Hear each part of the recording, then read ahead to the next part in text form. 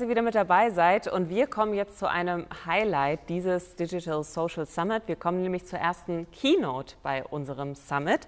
Und äh, wir schalten jetzt nach Kalifornien, denn da kommt unsere Gästin her, Lucy Bernholz vom Digital Civil Society Lab an der Stanford University. Und die Keynote wird auf Englisch sein. Ähm, wir haben aber eine Live-Untertitelung für euch. Das heißt, wenn ihr bei dem Livestream-Fenster mal ganz nach links schaut, da gibt es einen kleinen Button. Den könnt ihr also klicken, um die Untertitelung anzuschalten. Und unten drunter in diesem schwarzen Bereich, da gibt es auch so ein kleines Häkchen. Genau, da haben wir es eingekreist. Und da könnt ihr auch noch einmal die Sprache auswählen, die ihr braucht. Und ja, worum soll es denn jetzt eigentlich gehen bei Lucy? Also Lucy wird über digitale Zivilgesellschaft sprechen und die Zukunft der Demokratie. Und so viel kann ich schon mal verraten. Es wird ein sehr eindringlicher Appell werden, denn die digitale Zivilgesellschaft, die ist nicht einfach da, sondern man muss sie erschaffen und man muss sie vor allen Dingen auch erhalten, wenn man die Demokratie stärken möchte. Und deshalb ist das auch das Stichwort für euch. Äh, denn wir wollen auch, dass ihr euch beteiligt. Wir haben im Anschluss noch Zeit für ein paar Fragen an Lucy, also schreibt sie gerne in das Fragentool und dann kann ich sie im Nachhinein noch einmal aufgreifen und an Lucy weiterreichen. So for now, um, let's say hi to Lucy. Um, it's an honor and a pleasure to have you here and we are very happy and very excited to get an insight on your perspectives. Thank you so much, and thank you for having me. Good morning, good afternoon, everyone. It's it's great to see you all. Um, I'm hoping you can see the slides. Every can I get a thumbs up that you can see everything? Okay, um, so uh, I'm calling in from California uh, and uh, from the land, the ancestral lands of the Ramaytush Ohlone. It's delightful to be with you here uh, In 2019, I was able to be with you in person, so that was um, I think the difference between then and now is a good signal of all that we've been through uh, in the time that's allotted. And I want to um, give people a chance to both uh, center and pay attention to all that's going around us in the world, but also to draw on hope. Because I'm here today to talk a little bit about what digital civil society can and must uh, do for us going into the immediate future, how we can step into the futures we want. And I believe deep in my heart and uh, with all of my uh, knowledge that it will be, in fact, digital civil society and all of us, all of you who are here today, who will help us figure out um, how to stride toward the futures that we want. Because we are here, you are here, I am here uh, out of um, a commitment to the very kind of hope that Octavia Butler told us to uh, center on that the very act of looking to the future, of trying to shape the present and understand the future, is itself uh, an act of hope. And I want to work with and from that um, insight as we go forward. So I've got sort of three or four big points to make about digital civil society, and then I'm eager to be in conversation with you. Um, the first thing I want to start with is that digital civil society is all of us. Every one of you who's here today to listen to me and to speak with each other and to join as part of this summit um, is a part of digital civil society. We are the ones who, along with our neighbors and our colleagues, um, can can take uh, can take our core principles of democratic futures look around at all of the migration and flux that is going on in our world, all of our new neighbors, all of the people, ourselves included, whose lives have been um, completely upended in the last few years or the last few months, and realize that if we are going to find our way forward, if we're going to build the futures we want, uh, it comes down to the work and the ways that we live, each and every one of us, individually and collectively. And that, in fact, we have what we need to do this. We are familiar uh, across Europe and here in the United States with the core principles of self governance and autonomy and of being able to build the uh, democratic futures that we're looking for.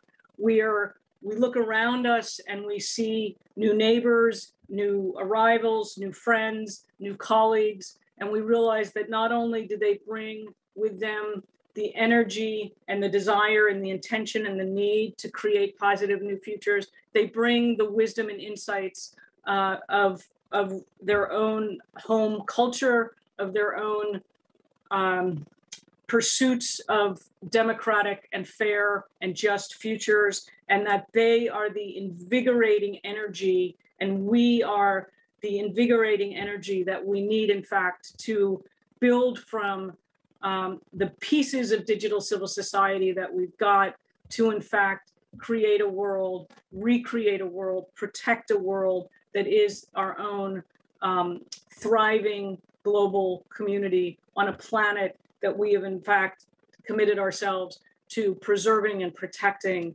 no longer extracting from and dividing us around.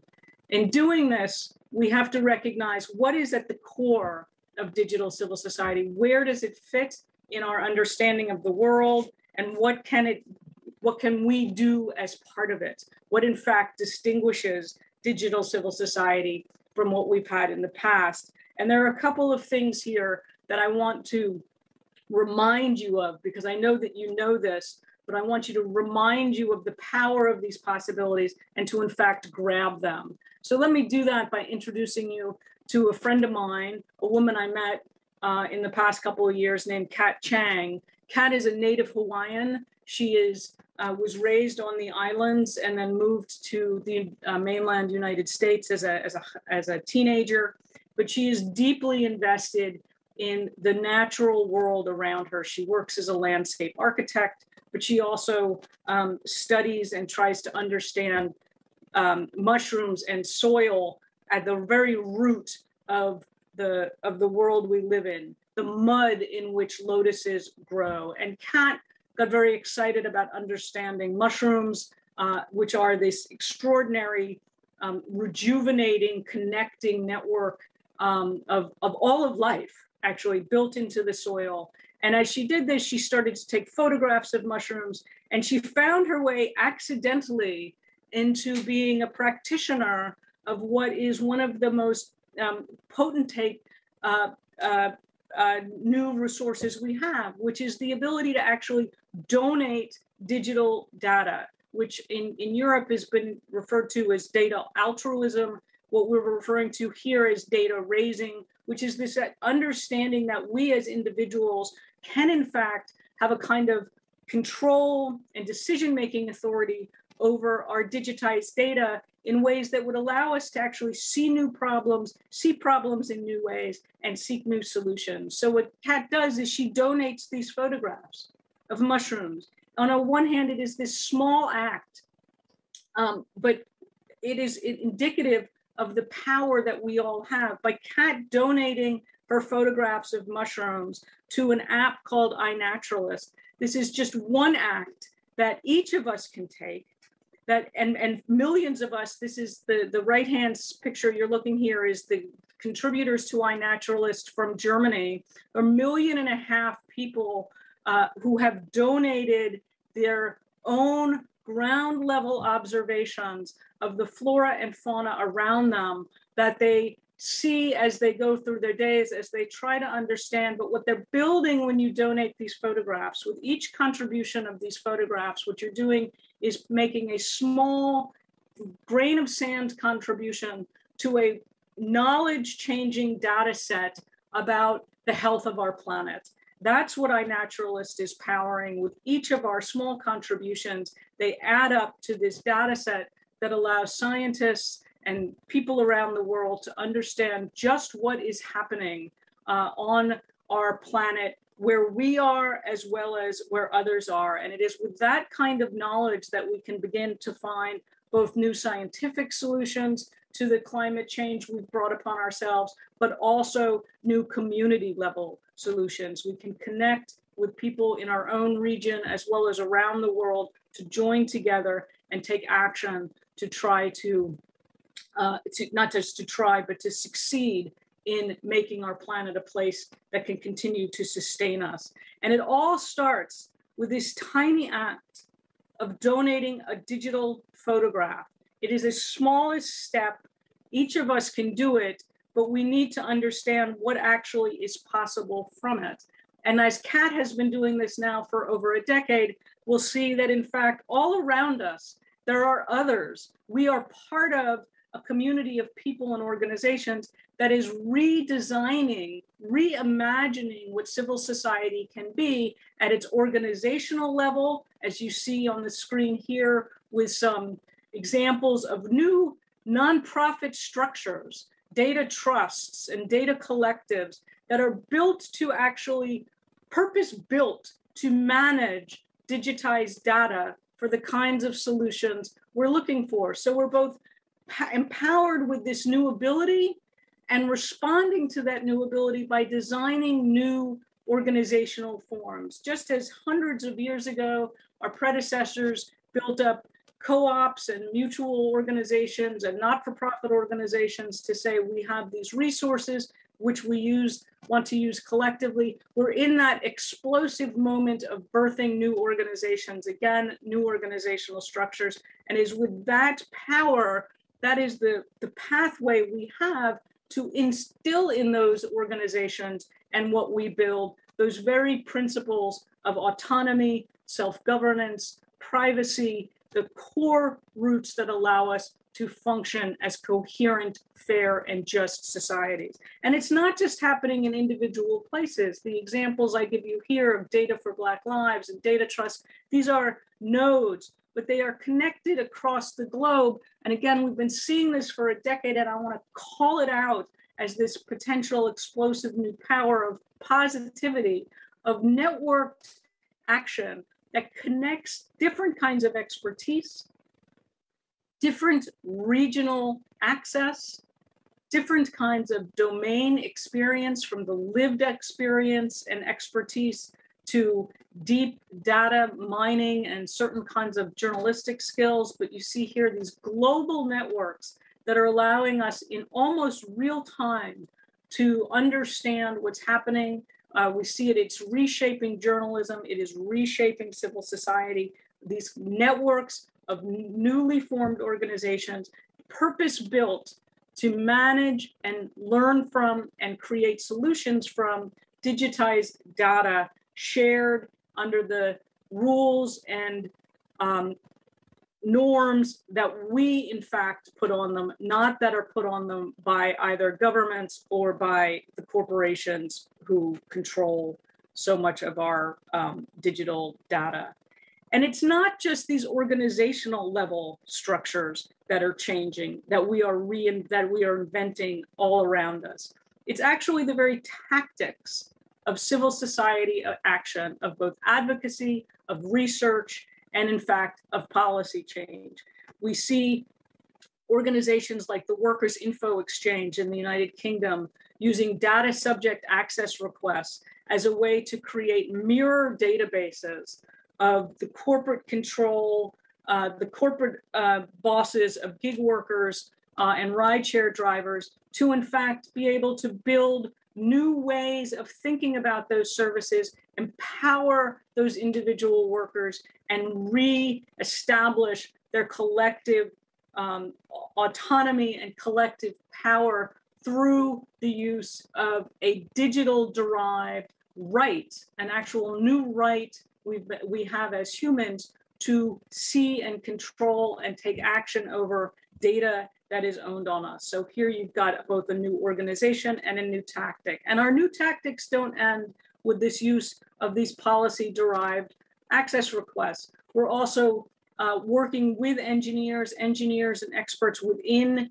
um, the field uh, uh, of, of algorithmic auditing are showing us that in fact, while companies and governments and vendors would like us to think that we can't possibly understand what's going on as as they use these same resources. They are showing us people like Deb Raji uh, from the Mozilla Foundation are showing us that in fact, yes, we can. We can build inside the companies and outside companies. We can build throughout digital civil society the very ability to understand better what the algorithms that are using to make public decisions are doing to uh, require those uh, processes to follow the analog values of justice and fairness and transparency, to put in place new powers of destruction to make sure that um, harmful algorithms are not used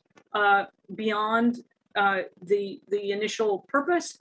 And in fact, the Digital Freedom Fund there in Europe has been uh, leading the way in strategic litigation and empowering others to take action. So all of this is happening around us um, every day, and it's easy to overlook and think that these are one-offs, but by no mean are by, by no means what I want to instill in you is that these are the early shoots of spring.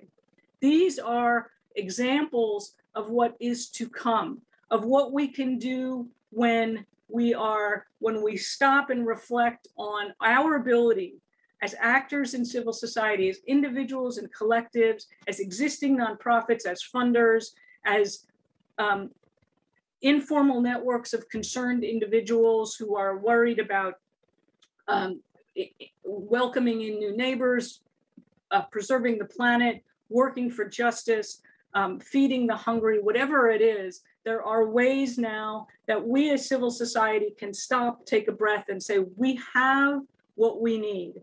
We have the capacity to mobilize and organize and to use our existing analog resources, but also to create a digital world that embodies and is built on the principles of fairness, justice, self governance, and autonomy, upon which we've built modern democracies and for which we are uh, seeking um, to re- reinvigorate and reinstill those same processes. And our lives, our very lives depend on us. Our very lives of the planet and of individual people require us to take big steps now toward building um, institutions and, and activities that recognize our fundamental dependence on digital data and the way it is analyzed. And as Timnit Gebru has done in response to um, her own lived realization that in fact big companies were are never going to be the source of this kind of innovation. Governments are never going to be the source of the kind of values driven, purpose built institutional creation we are where that's going to come from. And as Timnit has built the new distributed AI research center, so must we empower ourselves with the same kind of vision and resources to do this. But I also want, as an historian, to remind us that with all of our great new power, we have to be thinking of what happens when time goes by and mistakes are made we can never really, there's not a single path dependent future. We can do our very best, but as Jenny Holzer will remind us, we live the surprise results of old plans. And simply grasping at these tools as um, tech solutions to existing problems will lead us uh, nowhere positive.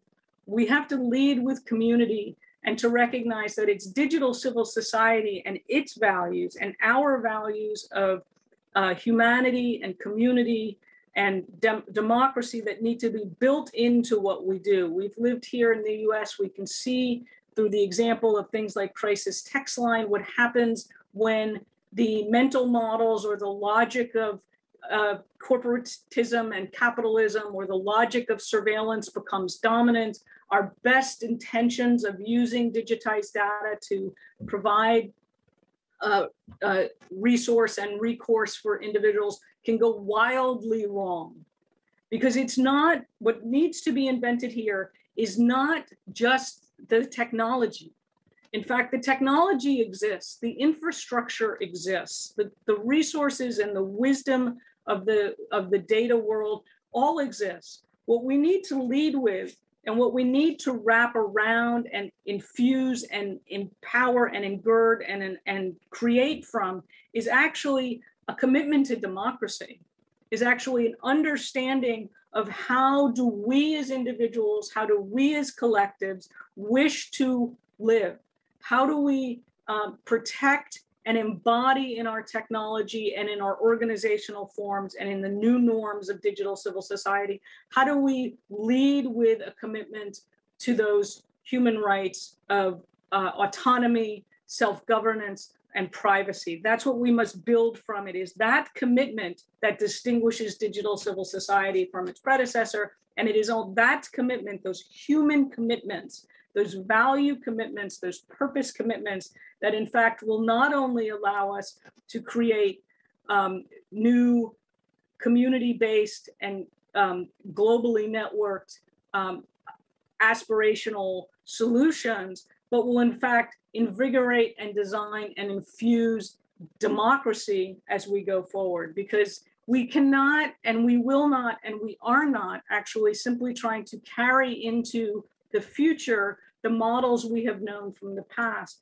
We are trying to create new, beautiful visions that instantiate things that have always been marginalized, and put those at the center, that take the values of pluralism and the values of justice and design organizations, activities, networks, rules, and norms that are in fact better models than those we've ever had, that actually live the values that have been rhetorically referred to, but substantively designed to ignore. We have the opportunity to build those using the, the networks and the data that we have, but only, only if we lead from that very lived experience of those who, for whom the future is actually their history. We've been living the, the mistakes and, and we're now in a position to actually capitalize on and lead from that human heart, that human power, that connect commitment to justice and fairness that allows us a voice and a thriving pluralistic community, and in fact, the pursuit of democratic leadership, such as uh, is necessary to meet the challenges of our time. Thank you for joining me here today, and I look forward to being in conversation with you. Thank you, Lucy. Um, I have a question. Um, this data of altruism, those uh, donated data, is this something we are actually in need of, or shouldn't we be in need? Uh, and how much is this a matter of privacy? Yeah, there's huge privacy implications here. And what it, I, I challenge us all to think about is what are the larger systems that are in place that currently have us sort of locked in to this model in which the sharing of data is inherently a privacy violation. That is a str- we're absolutely in that place, but we don't need to be there. We can imagine alternative ways of governing that data, of generating that data, and of using that data in which we as individuals would have would have the authority and the agency and the opportunity to determine when and if, or if and when, we want to contribute it for some shared social solutions. Now this gets this gets very big. This gets beyond um, the way we've structured capitalism uh, and the way we built these digital systems. But we have that opportunity, in fact, that imperative to imagine that, and we're doing it on small scales. The example I've the examples I've shown you, and we can in fact imagine what would be different if, if the privacy violations that we're so finally attuned to were in fact alternative trade-offs between um, uh, sharing with trusted institutions that we in our, we ourselves have authority over versus having our data taken from us and used in ways that we have no agency over. So, um, how can we, as a civil society, install useful data collections, and uh, whose task is this in particular? It's every organization's task at this point because there's not an organization out there that isn't somehow digitally dependent and therefore isn't already um, collecting data. What the decision making that needs to happen by those groups, whether it's a formal organization or an informal group of people taking on a temporary action, is to determine at the get go what are you going to do with the data that you're now stewarding? It's not a choice of will there be data collected. It's a choice of how conscious and deliberate are you going to be in stewarding that resource. Now there, there's a the full spectrum of choices. Then you can choose to um, uh, use none of the data that you're going to be generated by your very actions, in which case you need to come up with a set of plans and, and, and, and practices that minimize and, and reduce that data generation. Or you might go to the far extreme, in which case, as the crisis text line example shows us, you and those you're leading with need to imagine and communicate and design with those from whom you're collecting the data a, a complete 360 degree circle of what are you going to do with it and how are you going to protect it and what's going to be allowable and what's not. This is goes far beyond the, the first step of compliance, which in Europe you're all very familiar with. But to really imagining a commitment to the collection of that data that's driven by and has agency for those who are in the data. Remember, the data we care about is data about people. Those are people in there. They're capable of being part of the decision-making process. And depending on what uh, you know domain you're working in, then comes that very deliberate and difficult act of determining the loyalty that your group will have to the people who are represented in that data and working from that vision forward. It can't be an afterthought. It has to be a complete set of actions at the very beginning. So let's take it one step further. So, what legislations are needed, um, maybe inside the EU, to accomplish this goal? I don't know. I don't know. But you know, the people at the summit know you're eh, living and thriving and designing and, and changing and, and, and affect most affected by the European regulatory environment. Um, you also know what uh, problems you're trying to solve.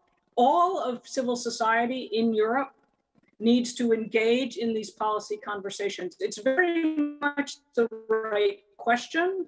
And all I can offer to you is to say that the extraordinary work of those in Europe who see themselves as part of the digital rights community needs to be augmented by the wisdom and experience of those in Europe for whom the rest of civil society that doesn't necessarily see themselves as part of that digital rights world, that expertise and that proximal understanding, preferably the lived experience of those who are trying to be helped, of those whom civil society seeks to help, to bring all of that expertise together to inform that regulatory question. I don't know the answer to that question, but the wisdom to figure it out is right here in this community. So, if we take it back to the US, and this is my last question for you, is um, what would be your utopia of a digital civil society um, that serves a digital democracy? It's one in which each of us as individuals understands that we have, understands and can act on the way our um, vision of a just future manifests itself.